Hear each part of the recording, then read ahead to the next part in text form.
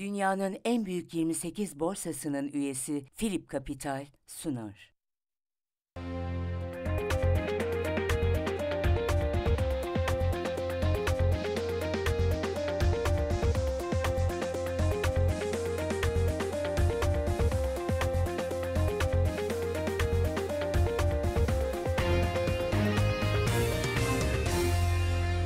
Stüdyo New York'tan herkese iyi akşamlar. Saatlerimiz 20'yi gösteriyor ve her akşam olduğu gibi küresel gelişmeleri konuştuğumuz programımızla karşınızdayız. Bugün programda bize ATCCI Batı Bölgesi Başkanı Alex Demirhan Demir eşlik ediyor. Alex Bey merhaba, hoş geldiniz.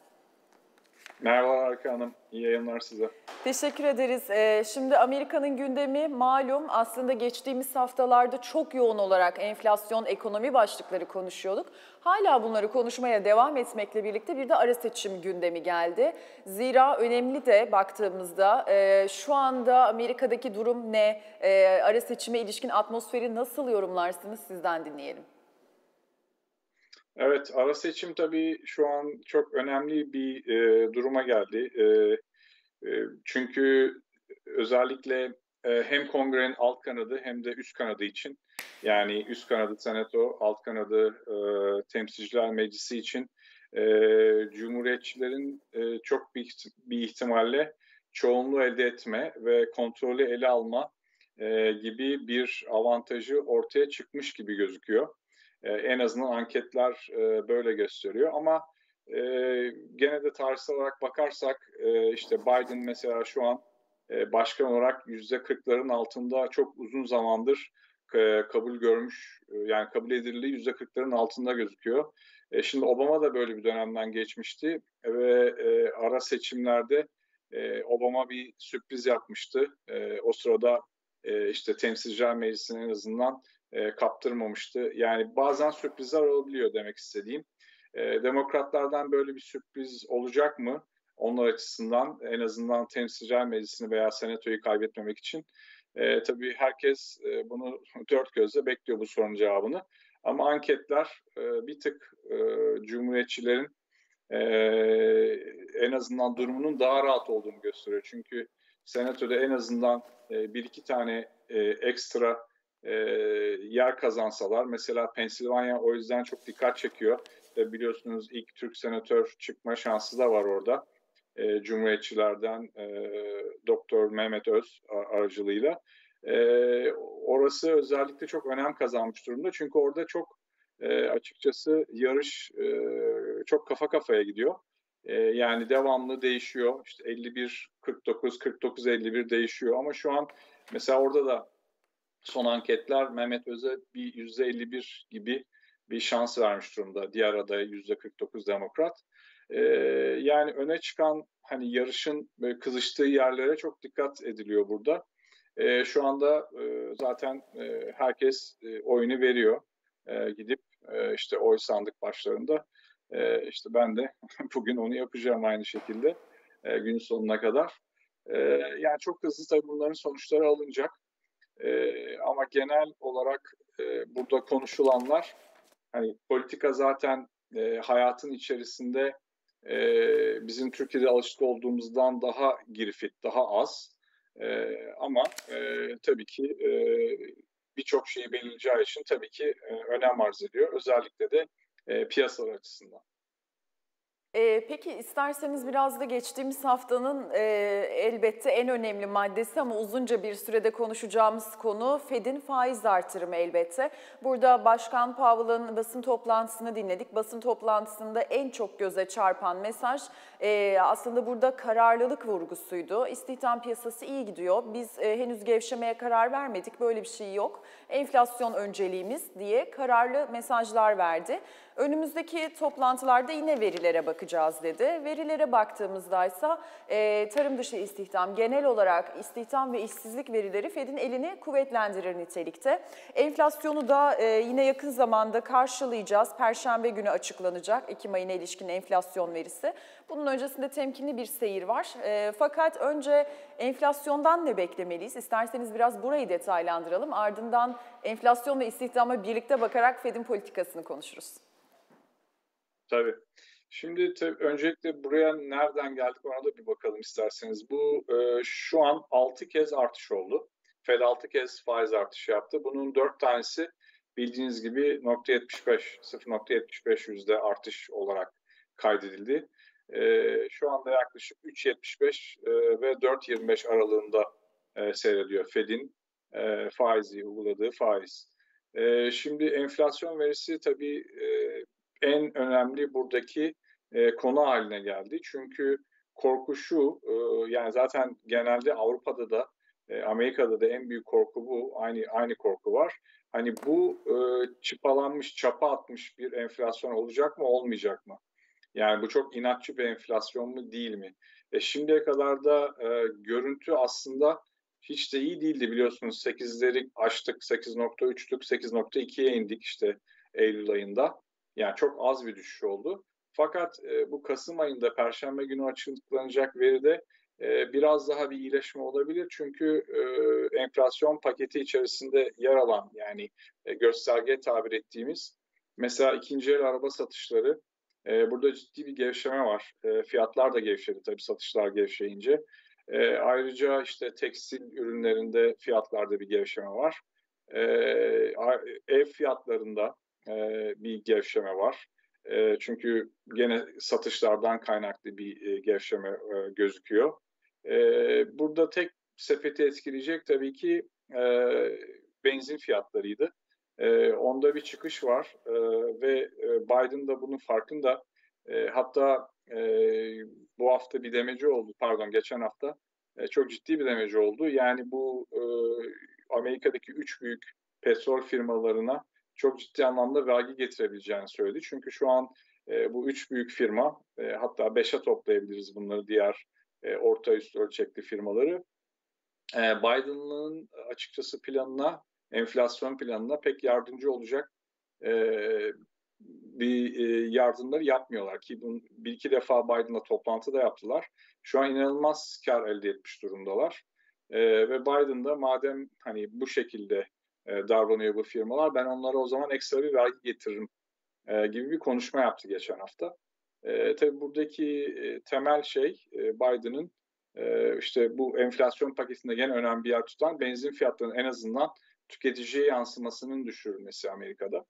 E, şimdi FED'e geri dönersek gene bu enflasyon sepetinde e, tabii bunları çok ciddi anlamda tek hani şu an e, kendini Fed'in en şahin kesillik konu enflasyon. Yani oraya çok bakıyor.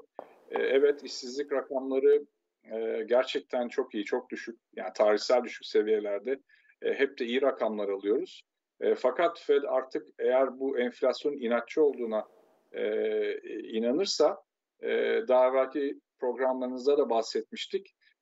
Fed işsizlik konusunda çok ciddi feragata bekleyebilir. Yani işsizlik oranının yükselmesini e, açıkçası destekleyebilir. Hani bu tabii ki iş yerlerine işten adam çıkarın demez ama e, faizleri arttırdıkça zaten e, firmalar zorlanmaya başlıyor borçlanma konusunda.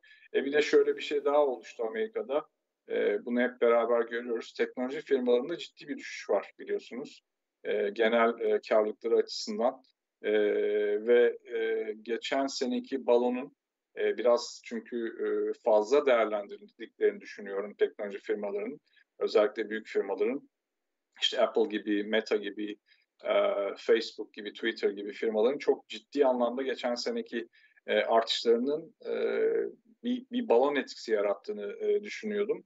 ve şimdi maalesef o balon patlamış gözüküyor. ve tabii bu da işten çıkarmalara yol açıyor. O da Amerikan iş piyasasını e, az da olsa e, eksi anlamda etkileyecek gibi duruyor.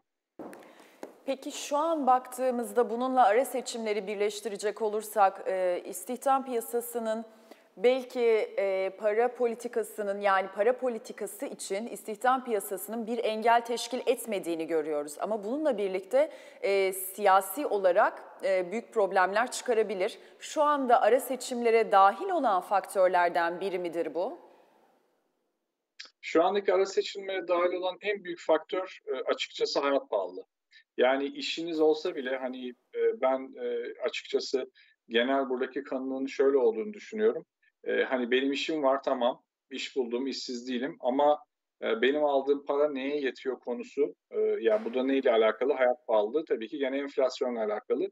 En önemli konu haline almış durumda ve Biden'ın karnesi de bu konuda şu an iki senedir biliyorsunuz e, Biden e, şu an hükümeti başta pek iyi gözükmüyor. E, tabii bunda konjonktürel etki var. E, Rusya-Ukrayna savaşının etkisi var. Yani şanssız bir dönem de var. E, ama e, tabii ki e, bir de kendi politikalarının yarattığı etkiler de var. Yani biliyorsunuz Covid'den çıkarken çok ciddi anlamda e, Amerikan e, hazinesi e, piyasalara para pompaladı. E, tabii bunun da yani bu, bu politikanın çok aşırı yapılmasının getirmiş olduğu etkiler de var. E, insanlar bunu hayat pahalı olarak değerlendiriyor ve bunu e, gördüğü için de açıkçası e, ara seçimlerde çok önemli e, konulardan bir tanesi bu. En önemlisi bu açıkçası. Hani iş bulmasından çok ben bulduğum işle ne alabiliyorum, nasıl geçinebiliyorum o, o konu çok önemli. E, ve bir de tabii şu da var, e, Biden hükümeti ciddi anlamda e, Covid'den çıkışta ve Covid zamanı işsizlere veya düşük gelirlere çok ciddi yardımlar yapmıştı. Şimdi onlar da kesildi. E, onların da etkisini görmeyeceğiz çok fazla e, seçmende. E, o yüzden e, yani demokrat e, kesime karşı e, anketlerin, e, genel anketlerin o yüzden doğru olduğu kanısındayım. E, negatif bir görüş var açıkçası e, Biden'a ama sürpriz olur mu? E, dediğim gibi başta söylediğim gibi olabilir. Daha evvel oldu. E, çünkü e, bir yandan da e, ciddi bir polarizasyon var Amerika'da biliyorsunuz. E, hatta bu da çok e, büyük tartışma konusu. Amerika demokrasisi acaba e, bu polarizasyondan nasıl kurtulacak? Kendi çünkü bunu bir hastalık olarak e, görüyorlar burada. E, ve bu hastalığı yenmesi gerekiyor. Hem dünya demokrasileri için çok önemli bence. E, hem tabii ki ABD'nin e, içi için çok önemli. E, bu polarizasyondan e, dan dolayı e, demokratların işte o yüzden bir e, sürpriz yapabilme ihtimali var. Ama tamam mantık, e, analizler, anketler e, tabii bir tık hep e, Cumhuriyetçileri şu an yukarıda gösteriyor. İki senenin ayrıca yıpranmışlığını da katarsanız e, Biden hükümetinin e, öyle gözüküyor. E, peki şunu da sormak istiyorum Alex Bey. Baktığımızda bu işin e, belki biraz magazinel boyutu olarak görünebilir ama çok önemli olduğunu düşünüyorum aslında. Başkan Biden'ın basına yansıyan e, sağlığının yeterince iyi olmadığını ifade eden ve ima eden bazı davranışları oldu. E, şu an baktığımızda bu konuya ilişkin bir genel atmosfer veya kanı var mı Amerika cephesinde? Yani e, dışarıdan göründüğü gibi mi görünüyor oradan baktığımızda da? Şimdi şöyle, e, polarizasyon orada da işliyor e, Harika Hanım. Yani şimdi e, Cumhuriyetçilerin kanallarına ve medyasına bakarsanız e, bu çok ciddi bir konu olarak ele alınıyor. E, ve hatta dalga geçme konusu oluyor. E, ama e, demokratların kanallarına ve medyasına bakarsanız da hani bu e, olabilecek e, işte yaşın getirdiği ara sıra ortaya çıkan semptomlar, çok fazla büyütülmeyen, e, büyütülmemesi gereken e, sağlık problemleri olarak e, gösteriliyor. Hatta hiç konuşulmuyor. Dediğim gibi polarizasyon burada da işe yarıyor. Yani hangi tarafın hangi internet sitesindeki veya televizyon kanalındaki veya gazetesindeki haberi okuduğunuzda bağlantılı bu. Ee, peki dün IMF Başkanı Kristalina Georgieva'dan bir açıklama gelmişti. Biz bu işin aslında Amerika için ne ifade ettiğini ilk sorumda sizinle konuşmuştuk ama Başkan Georgieva küresel enflasyonun zirveye yakın olduğunu söylemiş. Ee, siz de zaten bahsetmiştiniz Amerika'da da rekor %8.2 seviyelerinden enflasyonun %7.9'lara gerilemesi şu anki beklentiler dahilinde. Küresel anlamda da baktığımızda iş dünyasının bu konudaki algısı açısından da baktığımızda enflasyon zirveyi görmüş gibi mi algılanıyor şu an? Evet şu anki hava sanki e, Fed'in bu artışlarını işte bu Kasım toplantısında tabii ki yapacağı, daha sonra e, önümüzde e, Ocak toplantısı var. Orada da devam edeceği ve ondan sonra artık böyle nokta 25'ler civarında pek de piyasayı rahatsız etmeyecek. İşte %5'e e, ulaşan seviyelerde yani toplam e, Fed faizinin e, oralarda artık böyle gezineceği ve piyasayı e, takip edeceği gibi bir hava oluştu burada genel e, iş piyasalarında. Bu da tabii gördüğünüz gibi buradaki borsalarda olumlu yansıdı. Yani e, hani bunun artık e, ucuna geliyoruz. E, buralarda gezinecek gibi ama e, genel dediğim gibi e, bu enflasyonun ve hayat pahalılığının e, devamına bakarsak e, pek de öyle olmadığı gözükebilir. Yani dediğim gibi bu datalar çok önemli olacak. E, zaten herkesin gözü o, yüzden enflasyon datasında e, işte e, istihdam datasında o yüzden oluyor. E, çünkü e, hayat onu yansıtmıyor. Yani gerçekten bugün gittiğinizde hala bunu hissediyorsunuz hayat pahalılığında Amerika'da. Gerçekten yüzde sekizlerin çok daha üzerinde çeşitli kalemlerde artışlar görüyoruz. Tabii yüzde sekiz bir sepeti temsil ediyor. Hani bunun 7 nokta işte dediğiniz gibi 9'lara gerilemesi veya 7 nokta e, 7'lere gerilemesi işi çözmeyecek. Gene e, bu bunun eğer kalıcı ol, ya kalıcı derken uzun süreli olması durumunda tabii ekonomiye çok ciddi zarar verecek. E, e, faizlerin de burada kalması yani bu iş enflasyon konusu eğer çözülmezse uzun dönemli, uzun süreli e, buralarda devam ederse 7'ler 6'lar bandında e, Fed'in de faizi demek ki 4,5-5'ler bandında devamlı duracak. E, bu da birçok piyasayı etkiliyor. Mesela işte borç piyasasını, mesela mortgage piyasasını. E, mortgage şu an e, %7'lerde. E, %7'lerden e, açıkçası ev piyasası çok düştü tabii ki. Kimse, e, yani kimse derken e, çoğu kişi ev alamıyor bu durumda. E şimdi ev fiyatlarına yansıyacak bu. Ev fiyatları ciddi anlamda düşerse e, bankaların elinde daha evvel mortgage'ını verdiği bir sürü ev var. E, şimdi oradan başka bir a, krize yol açabilir mi? Şimdi bunlar açıkçası konuşulmaya başlandı burada. Yani çok pozitif bir hava var e, ama e, enflasyonun devam etmesi e, durumunda bu nereye döner? E, bahsettiğim sebeplerden ötürü o bir moralsizlik yaratır mı? E, onu da herhalde 2022'nin ilk çeyreğinde göreceğiz hem pazarlardan hem de iş piyasasından.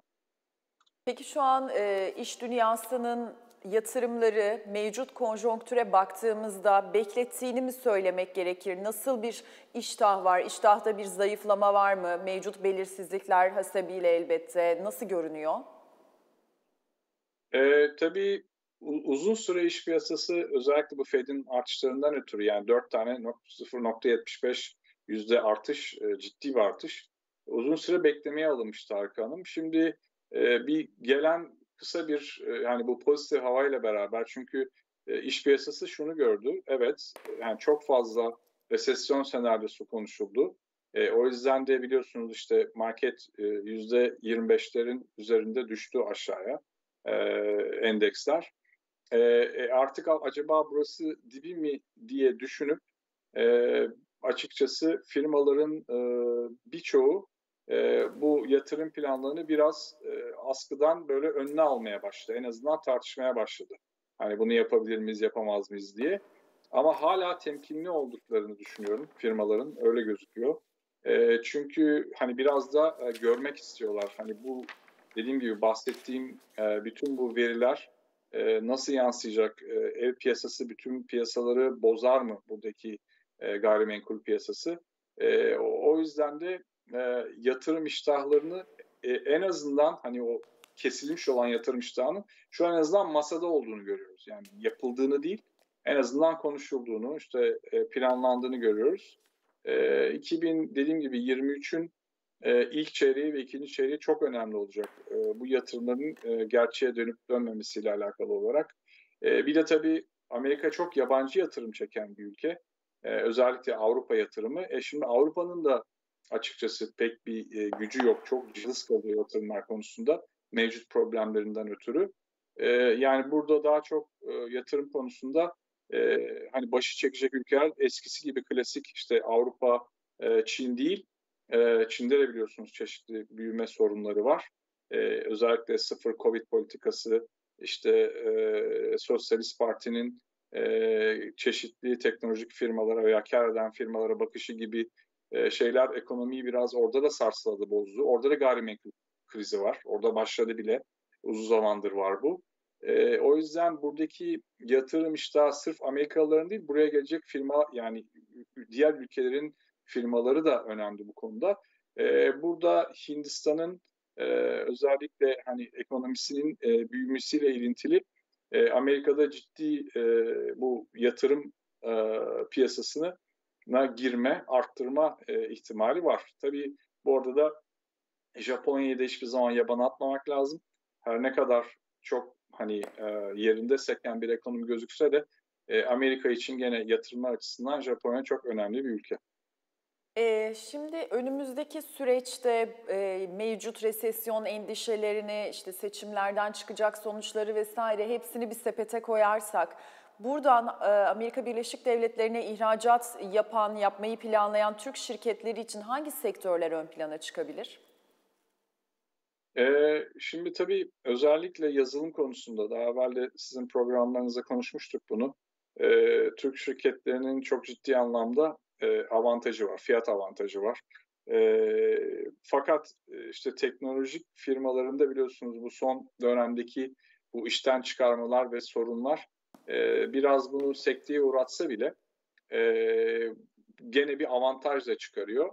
E, çünkü teknoloji firmaları e, işten adam çıkardıkça daha çok tabii üçüncü ülkelere e, geçiyorlar servis açısından. Gene Türkiye burada bir e, fırsat çıkıyor. Hem e, fiyat açısından hem de pazardaki çıkabilecek boşluklar açısından. E, onun dışında e, zaten hani bizim e, klasik artık diyebileceğimiz sektörler var. İşte mobilya gibi, e, makine teçhizat gibi, e, tekstil gibi. E, bunlar her zaman hani burada ön planda. Yalnız tabii e, bu tip çok konvansiyonel işlerde e, tabii firmaların uzun dönem düşünmesi gerekiyor Türk firmalarının e, Amerikan sektör Amerika Amerika'ya girmeleri için her ne kadar çok e, büyük e, ve e, çok istikrarlı e, pazar gibi gözükse Amerika e, bir o kadar da rekabetçi yani e, sırf fiyatla rekabet edemiyorsunuz. E, sizin bir e, bir hikaye anlatmanız, e, güven e, güven telkin etmeniz, e, çok ciddi bir müşteri hizmetleriniz olması gerekiyor burada e, bu bu tip konvansiyonel sektörlerde öne çıkmak için. E, bir de ayrıca ekleyebileceğim tabii sağlık sektörü var. E, Amerika'dan zaten ciddi anlamda e, e, sağlık sektörü konusunda Türkiye'ye e, gidişler son e, Covid hemen Covid sonrası son bir buçuk senede çok hızlandı. E, işte e, Avrupa'dan olduğu gibi e, onda, ondaki de zaten e, kalemleri biliyorsunuz zaten sağlık sektöründe Türkiye'ye gelen. E, tahmin ediyorsunuz en azından. E, ve ve tabii ki gene hani burada e, öne çıkabilecek e, sektörlerden e, inşaat malzemeleri e, tekrar ön plana çıkabilir. E, burada e, bir rol oynayabilir. Çünkü e, ciddi artışlar olduğu için bu sene e, böyle ara mallarda ciddi fırsatlar var inşaat konusunda. Peki çok teşekkür ediyorum bilgilendirici, kıymetli sohbetiniz için. ATCCI Batı Bölgesi Başkanı Alex Demirhan Demir'i ağırladık stüdyo New York'ta. Birazdan piyasa analizle karşınızda olacağız. Günün tüm gelişmelerini sizlere aktaracağız. Bizden ayrılmayın.